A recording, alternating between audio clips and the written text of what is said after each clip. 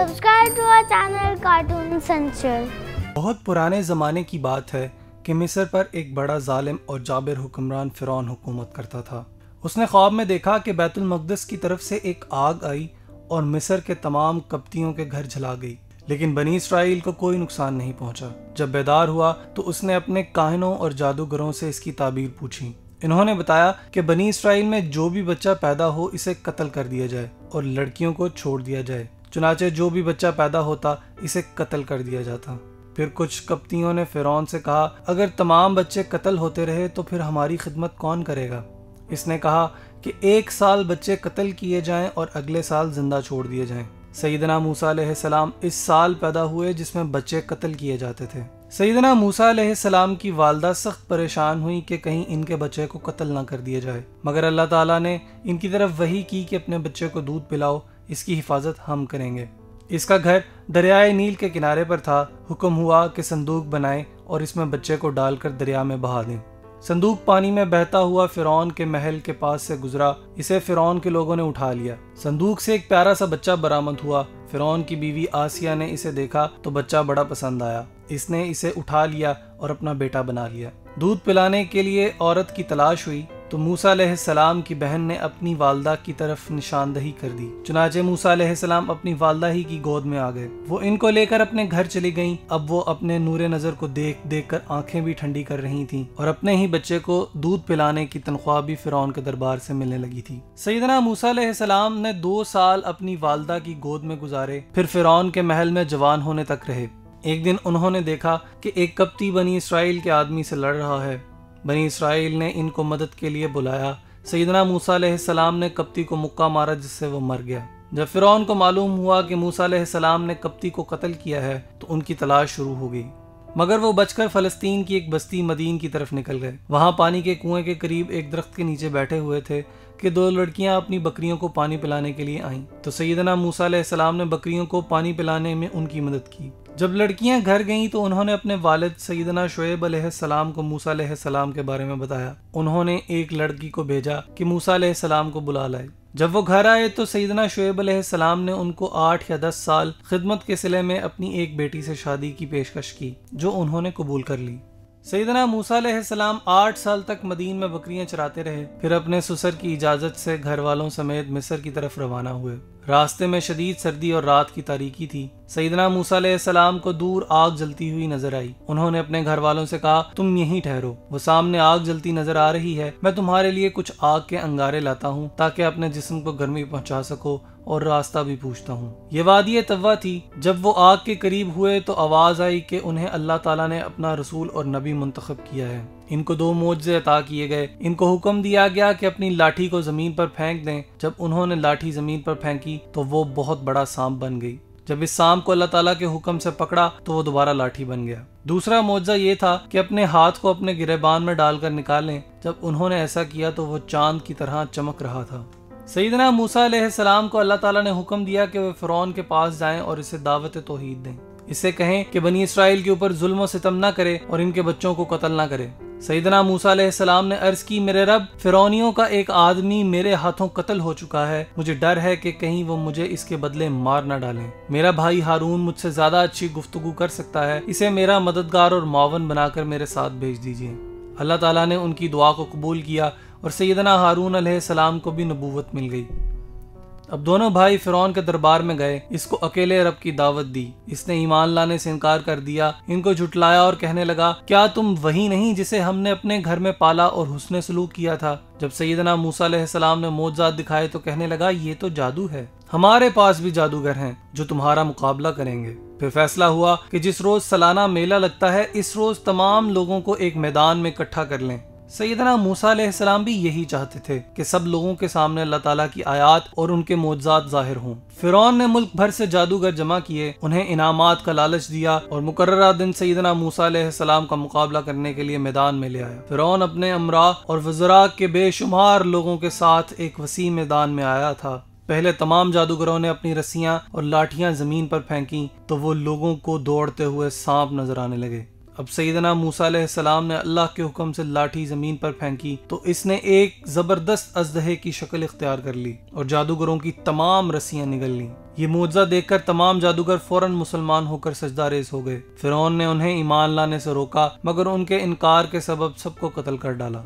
सारे लोगों के सामने फिरौन को ज़बरदस्त शिकस्त का सामना करना पड़ा। जब उसके बुलाए हुए जादूगर भी मुसलमान हो गए तो वो गुस्से से पागल हो गया और मुसलमानों को शदीद सजा की धमकियाँ देने लगा। इधर अल्लाह ताला ने फिरौन के मानने वालों पर अजाब भेजने शुरू कर दिए। पहले तो इनसे बारिश रोक दी गई। कहत साली की वजह से उनकी फ़सलें तबाह बर्बाद हो गई। खेती बाड़ी न होने की वजह से जानवरों का दूध भी सूख गया।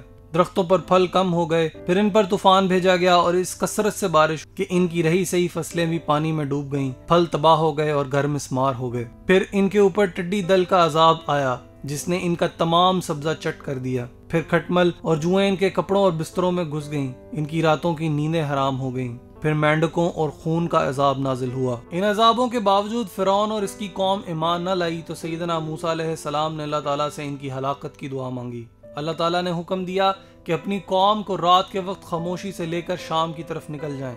फिरौन ने एक अजीम शान लश्कर के साथ इनका पीछा किया। जब सैदना मूसा अपनी कौम को लेकर बहिरा अहमर के किनारे खलीज सुईस पर पहुँचे तो फिरौन भी पीछे था। अल्लाह ताला ने सैदना मूसा को हुक्म दिया कि वो समंदर पर अपनी लाठी मारें। उन्होंने लाठी मारते हुए कहा, अल्लाह के हुक्म से फट जा। इस वक्त समंदर फट गया और इसमें बारह कबाइल के लिए बारह रास्ते बन गए। सईदना मूसा और इनकी कौम ने बड़े आराम से समंदर को पार कर लिया। इधर फिरौन भी अपने लश्कर समेत पहुँच गया। इसने देखा कि समंदर में रास्ते बने हुए हैं। वो अपने लश्कर समेत समंदर को बूर करने लगा। अल्लाह ताला ने समंदर को हुक्म दिया कि पहले की तरह रवा हो जा। चुनाचे फिरौन और इसका तमाम लश्कर पानी में गर्क हो गया। बनी इसराइल ने जब समंदर अबूर कर लिया तो इस कौम के लिए अल्लाह ताला ने इनामात का सिलसिला शुरू कर दिया।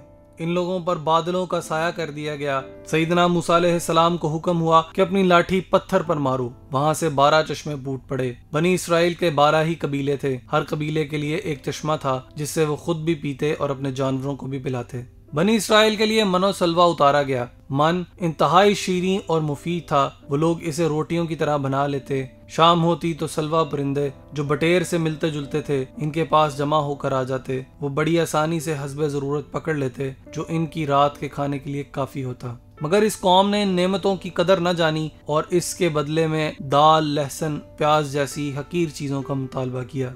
सईदना मूसा ने कहा, तुम अजीब कौम हो, पाक, हलाल और उम्दा और आला चीज़ों को छोड़कर इन चीज़ों का मुतालबा करते हो जो मामूली दर्जे की हैं। सईदना मूसा एक मरतबा कोहे तूर की तरफ़ रवाना हुए तो अपने भाई हारून सलाम को अपना नायब मुकर किया बनी इसराइल में सामरी नाम का एक शख्स था, उसने बनी इसराइल से जेवर लेकर उन्हें ढाल कर एक बछड़ा बना दिया और इसमें मिट्टी की वो मुट्ठी डाल दी जो इसने फिरौन के गर्क होने के वक्त हज़रत जब्राईल सलाम के घोड़े के नक्शे कदम से उठाई थी। वो बछड़ा गाय की तरह आवाज़ें निकालता था। सामरी ने लोगों से कहा कि ये तुम्हारा रब है। बाज लोगों ने इस बछड़े की पूजा शुरू कर दी। सईदना मूसा सलाम तूर पहाड़ से वापस आए तो कौम को शिरक में मुबतला देखा तो सख्त नाराज़ हुए। उन्होंने इस बछड़े को आग में जला दिया। सामरी को बद दुआ दी कि ज़िंदगी में तेरी यही सजा है कि तू लोगों से कहता रहेगा, मुझे ना छूना। जो लोग शिर के मुर्तकब हुए और बछड़े की पूजा की थी, इन्हें कत्ल कर दिया गया। बाकी लोग बैतुल मकदस की तरफ़ रवाना हो गए।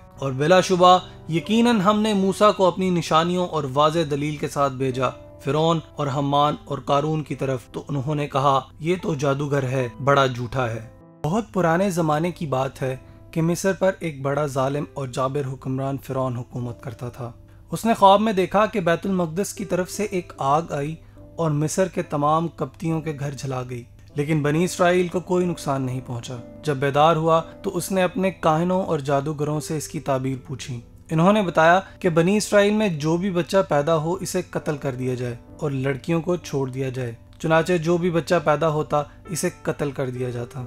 फिर कुछ कप्तियों ने फिरौन से कहा, अगर तमाम बच्चे कत्ल होते रहे तो फिर हमारी खिदमत कौन करेगा? इसने कहा कि एक साल बच्चे कत्ल किए जाएँ और अगले साल ज़िंदा छोड़ दिए जाएँ। सईदना मूसा सलाम इस साल पैदा हुए जिसमें बच्चे कत्ल किए जाते थे। सईदना मूसा सलाम की वालदा सख्त परेशान हुई कि कहीं इनके बच्चे को कत्ल ना कर दिया जाए। मगर अल्लाह ताला ने इनकी तरफ़ वही की कि अपने बच्चे को दूध पिलाओ, इसकी हिफाजत हम करेंगे। इसका घर दरियाए नील के किनारे पर था। हुक्म हुआ कि संदूक बनाए और इसमें बच्चे को डालकर दरिया में बहा दें। संदूक पानी में बहता हुआ फिरौन के महल के पास से गुजरा। इसे फिरौन के लोगों ने उठा लिया। संदूक से एक प्यारा सा बच्चा बरामद हुआ। फिरौन की बीवी आसिया ने इसे देखा तो बच्चा बड़ा पसंद आया। इसने इसे उठा लिया और अपना बेटा बना लिया। दूध पिलाने के लिए औरत की तलाश हुई। तो मूसा सलाम की बहन ने अपनी वालदा की तरफ़ निशानदही कर दी। चुनाचे मूसा सलाम अपनी वालदा ही की गोद में आ गए। वो इनको लेकर अपने घर चली गईं। अब वो अपने नूरे नज़र को देख देख कर आँखें भी ठंडी कर रही थीं और अपने ही बच्चे को दूध पिलाने की तनख्वाह भी फिर के दरबार से मिलने लगी थी। सईदना मूसा सलाम ने दो साल अपनी वालदा की गोद में गुजारे। फिर फिर के महल में जवान होने तक रहे। एक दिन उन्होंने देखा कि एक कप्ती बनी इसराइल के आदमी से लड़ रहा है। बनी इसराइल ने इनको मदद के लिए बुलाया। सईदना मूसा ने कप्ती को मुक्का मारा, जिससे वो मर गया। जब फिर को मालूम हुआ कि मूसा सलाम ने कप्ती को कत्ल किया है तो उनकी तलाश शुरू हो गई।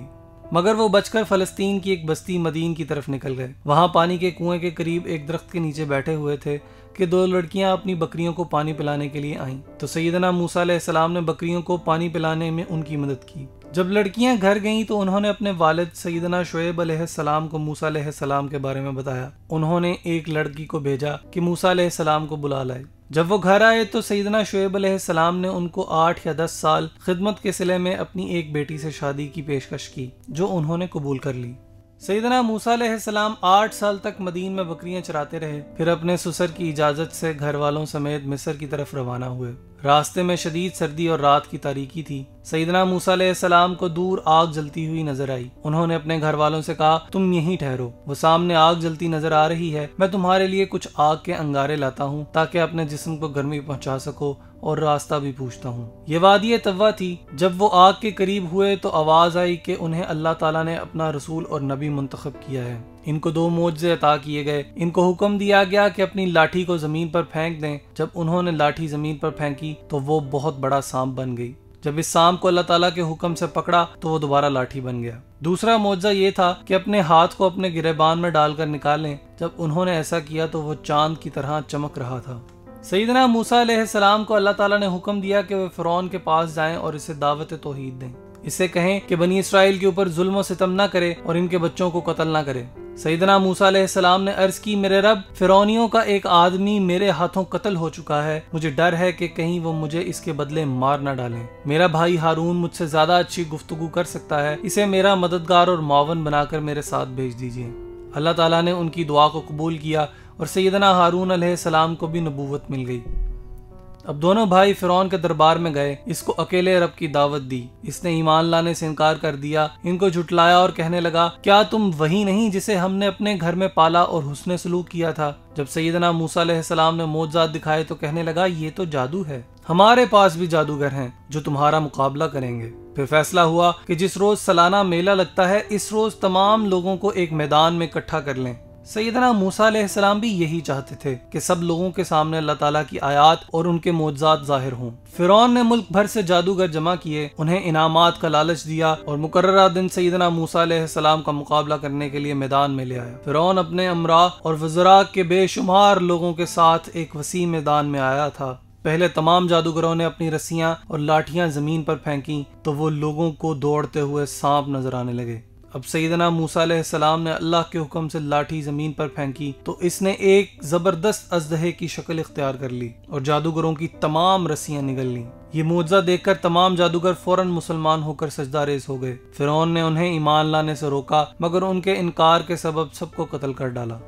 सारे लोगों के सामने फिरौन को ज़बरदस्त शिकस्त का सामना करना पड़ा। जब उसके बुलाए हुए जादूगर भी मुसलमान हो गए तो वो गुस्से से पागल हो गया और मुसलमानों को शदीद सजा की धमकियाँ देने लगा। इधर अल्लाह ताला ने फिरौन के मानने वालों पर अजाब भेजने शुरू कर दिए। पहले तो इनसे बारिश रोक दी गई। कहत साली की वजह से उनकी फ़सलें तबाह बर्बाद हो गई। खेती बाड़ी न होने की वजह से जानवरों का दूध भी सूख गया। दरख्तों पर फल कम हो गए, फिर इन पर तूफ़ान भेजा गया और इस कसरत से बारिश कि इनकी रही सही फ़सलें भी पानी में डूब गईं, फल तबाह हो गए और घर मिसमार हो गए। फिर इनके ऊपर टिड्डी दल का अजाब आया, जिसने इनका तमाम सब्जा चट कर दिया। फिर खटमल और जुए इनके कपड़ों और बिस्तरों में घुस गईं, इनकी रातों की नींदें हराम हो गईं। फिर मेंढकों और खून का अजाब नाजिल हुआ। इन अजाबों के बावजूद फिरौन और इसकी कौम ईमान न लाई तो सईदना मूसा सलाम ने अल्लाह ताला से इनकी हलाकत की दुआ मांगी। अल्लाह ताला ने हुक्म दिया कि अपनी कौम को रात के वक्त खामोशी से लेकर शाम की तरफ़ निकल जाएँ। फिरौन ने एक अजीम शान लश्कर के साथ इनका पीछा किया। जब सैदना मूसा अपनी कौम को लेकर बहिरा अहमर के किनारे खलीज सुईस पर पहुँचे तो फिरौन भी पीछे था। अल्लाह ताला ने सैदना मूसा को हुक्म दिया कि वो समंदर पर अपनी लाठी मारें। उन्होंने लाठी मारते हुए कहा, अल्लाह के हुक्म से फट जा। इस वक्त समंदर फट गया और इसमें बारह कबाइल के लिए बारह रास्ते बन गए। सईदना मूसा और इनकी कौम ने बड़े आराम से समंदर को पार कर लिया। इधर फिरौन भी अपने लश्कर समेत पहुँच गया। इसने देखा कि समंदर में रास्ते बने हुए हैं। वो अपने लश्कर समेत समंदर को बूर करने लगा। अल्लाह ताला ने समंदर को हुक्म दिया कि पहले की तरह रवा हो जा। चुनाचे फिरौन और इसका तमाम लश्कर पानी में गर्क हो गया। बनी इसराइल ने जब समंदर अबूर कर लिया तो इस कौम के लिए अल्लाह ताला ने इनामात का सिलसिला शुरू कर दिया। इन लोगों पर बादलों का साया कर दिया गया। सईदना मूसा सलाम को हुक्म हुआ कि अपनी लाठी पत्थर पर मारो। वहाँ से बारह चश्मे फूट पड़े। बनी इसराइल के बारह ही कबीले थे। हर कबीले के लिए एक चश्मा था, जिससे वो खुद भी पीते और अपने जानवरों को भी पिलाते। बनी इसराइल के लिए मनोसलवा उतारा गया। मन इंतहाई शीरी और मुफीद था। वो लोग इसे रोटियों की तरह बना लेते। शाम होती तो सलवा परिंदे जो बटेर से मिलते जुलते थे, इनके पास जमा होकर आ जाते। वो बड़ी आसानी से हसब ज़रूरत पकड़ लेते, जो इनकी रात के खाने के लिए काफ़ी होता। मगर इस कौम ने इन नेमतों की कदर न जानी और इसके बदले में दाल, लहसन, प्याज जैसी हकीर चीज़ों का मुतालबा किया। सईदना मूसा ने कहा, तुम अजीब कौम हो, पाक, हलाल और उम्दा और आला चीज़ों को छोड़कर इन चीज़ों का मुतालबा करते हो जो मामूली दर्जे की हैं। सईदना मूसा एक मरतबा कोहे तूर की तरफ़ रवाना हुए तो अपने भाई हारून सलाम को अपना नायब मुकर किया बनी इसराइल में सामरी नाम का एक शख्स था, उसने बनी इसराइल से जेवर लेकर उन्हें ढाल कर एक बछड़ा बना दिया और इसमें मिट्टी की वो मुट्ठी डाल दी जो इसने फिरौन के गर्क होने के वक्त हज़रत जब्राईल सलाम के घोड़े के नक्शे कदम से उठाई थी। वो बछड़ा गाय की तरह आवाज़ें निकालता था। सामरी ने लोगों से कहा कि ये तुम्हारा रब है। बाज लोगों ने इस बछड़े की पूजा शुरू कर दी। सईदना मूसा सलाम तूर पहाड़ से वापस आए तो कौम को शिरक में मुबतला देखा तो सख्त नाराज़ हुए। उन्होंने इस बछड़े को आग में जला दिया। सामरी को बद दुआ दी कि ज़िंदगी में तेरी यही सजा है कि तू लोगों से कहता रहेगा, मुझे ना छूना। जो लोग शिर के मुर्तकब हुए और बछड़े की पूजा की थी, इन्हें कत्ल कर दिया गया। बाकी लोग बैतुल मकदस की तरफ़ रवाना हो गए। और बिलाशुबा, यकीनन हमने मूसा को अपनी निशानियों और वाज दलील के साथ भेजा, फिरौन और हमान और कारून की तरफ़। तो उन्होंने कहा, ये तो जादूगर है, बड़ा झूठा है।